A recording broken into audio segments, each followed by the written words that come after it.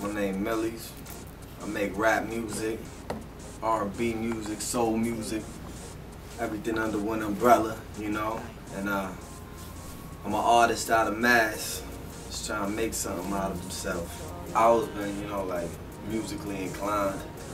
I always used to memorize every song that came on the radio, things like that. Started out, you know, just just like any other inner city kid who, like rap, you know, rapping with my people and beatbox. I beatbox. Um, my beatbox was horrible, you know, but uh, my verse was dope. And uh, you know, my name just started uh, getting bigger and bigger in my city, and um, I've been rapping ever since. Each time, obviously, every time somebody tell me my shit was hot, but I still wouldn't believe it because I see a lot of rappers that, you know I mean, they're delusional. It's, it, it's, so I, sometimes I, I think like, am I delusional? Like, is my shit really hot? So no matter how many people would tell me, I still always stayed grounded and um, would question myself like, am I supposed to really be doing this?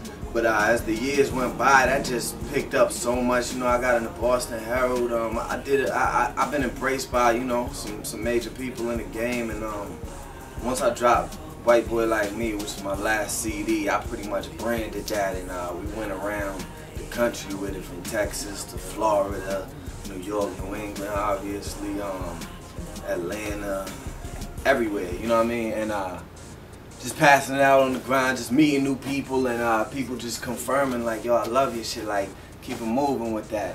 So everybody's frustrated in the music industry, but especially in Boston, people are frustrated because nobody's really been able to pop off and uh, kick in the door, aside from a couple people. But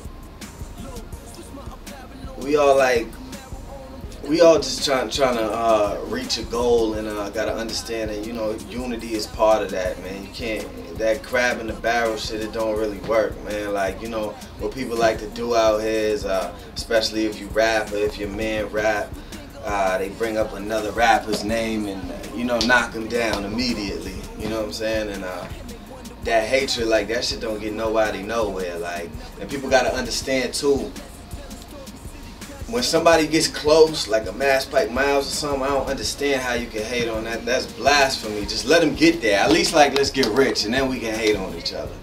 You know what I mean? But right now we don't got shit. So why you hating on somebody in the same position as you that's just trying to, you know, make his life better? But it just gotta be a unity thing, man. Everybody gotta um understand we all got a goal in mind and, and let's get to it. If somebody's music's hot, say their music's hot, man. You don't gotta knock them. You know, being a white dude, it, in this rap shit, like I'm already used to in the streets, like before the rap shit, like being a white dude in the black neighborhood, that's way crazier than being a white dude in the rap shit. So, you know, I kind of got used to that. Um, so it don't really affect me that much, but you know, it's a good thing. It's a good gift and a curse.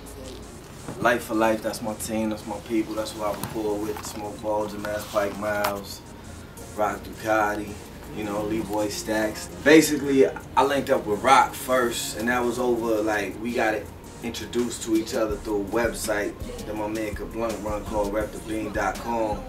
And I would hear his music. I already had heard Smoke and Miles and everybody, but you know, we kind of bonded over that. Uh, got in touch with each other. And it, it, just worked, you know, they, they the type of people, they genuine people like I am. We sat down at the table as bosses. I come with my own crew, they got their own crew, so it just worked. Our music is magic, and um, we just been rocking like that ever since. It's hard sometimes, but you gotta respect. You gotta respect the people in your team, and uh, like everybody know, I'm gonna go get it done regardless. I'm gonna, you know what I mean. I'm gonna be in the studio. I'm gonna get, you know what I'm saying. I'm gonna get what I gotta get done, and as long as everybody's on that same page, and make it pretty easy to work. You know, it's just when somebody starts slacking, that's when uh, teams break apart. But if everybody got the same goal and the same mentality, you know, teamwork make a dream work. You gotta understand it's not just, you know, recording and making the music. That's that's like a quarter of the battle. You gotta get out there. You, you gotta have your image right. What's your story? Who are you? You know what I mean? What do you offer to the world? Once you establish that, then you gotta get on your promotional grind, your internet, in the streets. Um, so it, it's the music, everything, and, the music is a big part. You know, I don't mean to make it sound minuscule, but promo is too, and just everything that comes along with it. There's so many facets to this game that I learned, you know, on on, on my uh, my road to the riches, I learned, but I would have never expected that coming up. I just thought it was just rhymes and beats, but it's way deeper than that. So if you get into it, just know it is a job. You know what I mean? You're gonna have to smile when you don't want to smile. You gotta go places, shake hands. You don't want to shake sometimes, and um, you gotta be consistent. Consistency is everything.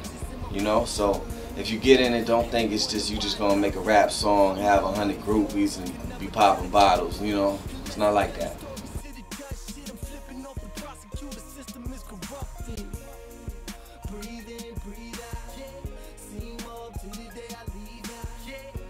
Hey yo, what up, y'all? It's your boy Blanco, Millie Blanco, that is. El Gringo to my Latinos, T Blunt on my Haitians, Muepa Bloom, where I see, you know what I mean? I'm rocking with my motherfucking man Dante Luna, Scope Urban Apparel. And I hate Boston haters. I hate them. Yeah, you. You motherfucker, you. You know what I mean? But it's your boy Millyz, man. Scope Urban Apparel. Yeah. Jake Tables life. We be in the streets all night. Don't even know when I'm coming home. Yeah, yeah, yeah. Look, switch my apparel on them, silver Camaro on them, that bow and arrow on them, quick to clipping cowards on them, still flipping powder on them, switch it to sour on them. Enemies got too many pistols, go double barrel on them. Fuck rap, make a zone move. School zone, two years for a stone, ooh. But think of all the cities I done flown through. Wonder why I love it. My life, yours, I can never judge it. Unless you tell a story, city touch shit. I'm flipping off the prosecutor system is corrupted.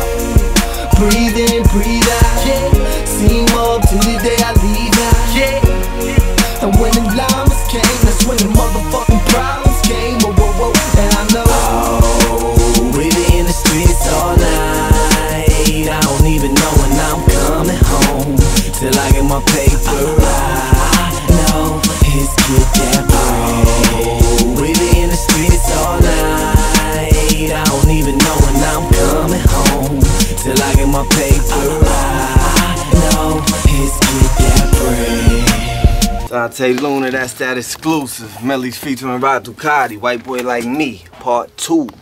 Alright?